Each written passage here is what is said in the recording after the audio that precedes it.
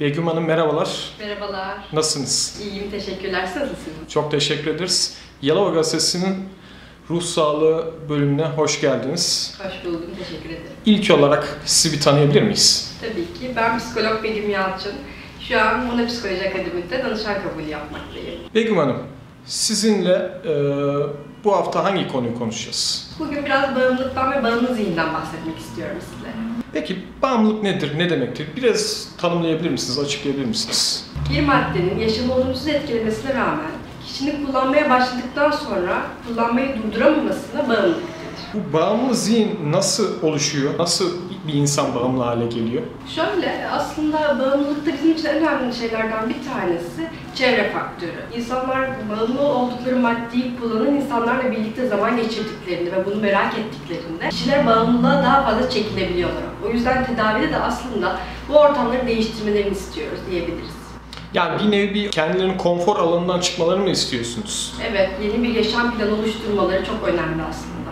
Peki bu bağımlılık sadece bir e, madde bağımlılığı olarak mı tanımlanıyor yoksa diğer duygusal bağımlılıklarda bağımlılık tanımının içerisine giriyor mu? Ve ilişki bağımlılığı gibi bağımlılık türleri var fakat e, daha çok bunu biz ilişki problemleri üzerinden çalışıyoruz. Teknoloji bağımlılığı, sigara bağımlılığı, alkol bağımlılığı gibi bağımlılıklar daha çok bizim uzmanlık alanımıza giriyor diyebiliriz aslında. Peki insan bağımlılıktan kurtulmak için neler yapmalı? Aslında bağımlılık dediğimiz şey kronik bir beyin hastalığı. Yani bu bizim için çok önemli bir nokta. Kişi bazen bize geliyor ve diyor ki ben artık bağımlı değil, ben bıraktım, bir haftadır kullanmıyorum, ben temizim. Aslında bu cümleler bile kişinin özgüven seviyesinin artmasına ve tekrar aslında bir kaymanın yaşanmasına sebep olabiliyor. Orada biz danışana en önemli hatırlattığımız nokta şu, bağımlılık devam eden bir süreç ve bu özgüvenler kendisini denemek için o ortamlara girmelerden uzak durması gerekiyor.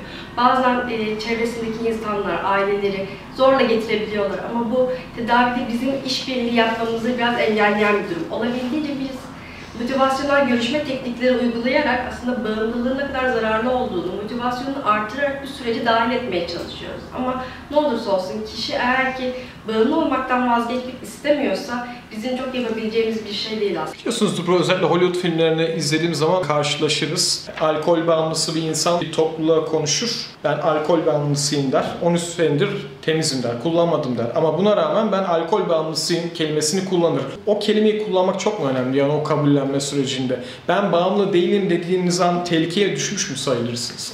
Şöyle, e, ben özellikle çalıştığım yerlerde çok şunu gördüm. 23 senedir alkol kullanmayan ama her hafta grup terapisine gelen kişiler var.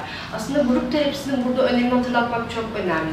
Grup terapisinde alkol kullanmayan kişiler özellikle buraya geliyorlar ve aslında o gün orada temizim diyebilmek için, ben ha- hala kayma yaşamadım demek için oraya geliyorlar. Yani terapinin e, devam edeceği de önemli bir şey. Yani terapi ne zaman biteceği de pek cevabı yok aslında kişi eğer ki bağımlılık sürecindeyse bağımlılık devam eden ve ömür boyu devam eden bir hasta. O yüzden kişi eğer ki bağımlıysa de, e, terapiye devam etmesi gerek ve kişinin bağımlı olduğunu kabul etmesi ve bu şekilde bir yaşam planı oluşturması çok kıymetli. Tedavi yöntemlerinden 3G'den bahsetmiştiniz. Biraz önce de bir grup terapisinden bahsettik.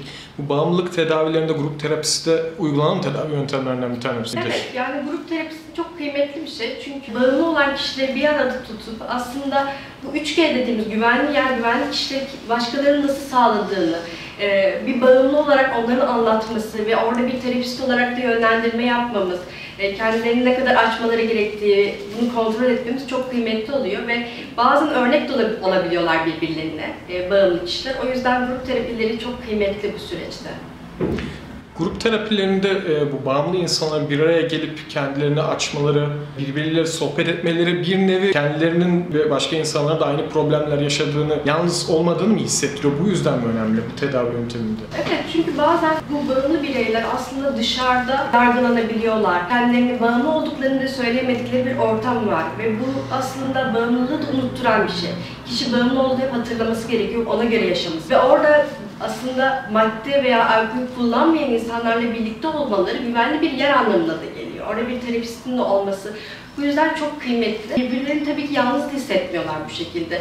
Orada bir işbirliği içerisinde birbirlerinin kaygılarına bazen kendileri nasıl baş ettikleri onların da bir baş etme becerisi edinmesine de bazen yardımcı olup bir şeyler öğretebiliyorlar. O yüzden çok kıymetli. Begüm Hanım, değerli görüşlerinizi aktardığınız için çok teşekkür ederiz. Çok sağ olun. Ben teşekkür ederim. Çok teşekkürler.